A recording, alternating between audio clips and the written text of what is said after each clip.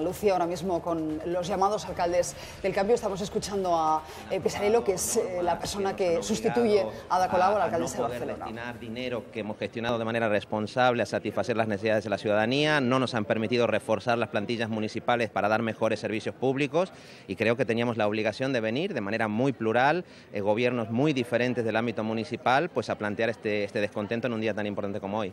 Parece que no tiene visos de salir adelante la moción, pero aún así eh, creen que es importante haberla planteado en este momento. ¿No ha sido un error de Pablo Iglesias? Es que a veces las cuestiones no se plantean cuantitativamente, ¿no? A veces eh, hay que perder para ganar en el futuro.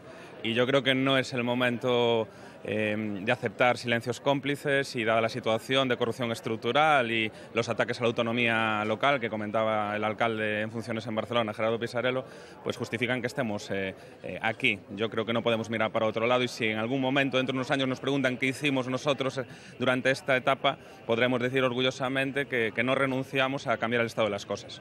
Desde el Partido Popular se dice que se ha hecho un uso partidista de las instituciones. No sé qué tienen que responder a eso. Bueno, creo que ellos son precisamente uh, el ejemplo más claro de un mal uso de las instituciones, ¿no? precisamente el Partido Popular, eh, tanto en el sentido del uso que hace de la justicia como en el expolio por parte de por, por, las prácticas de corrupción, eh, creo que es, el, ejemplo más grave que tenemos de un mal uso de las instituciones que en lugar de estar al servicio de las políticas públicas, en lugar de estar para solucionar los problemas de la ciudadanía, pues están para, para favorecer a sus intereses, para los intereses de las oligarquías y, y para, para no permitir la democracia, la radicalidad democrática que necesita que necesitan estos tiempos, este país, este momento. Pues estar escuchando al alcalde.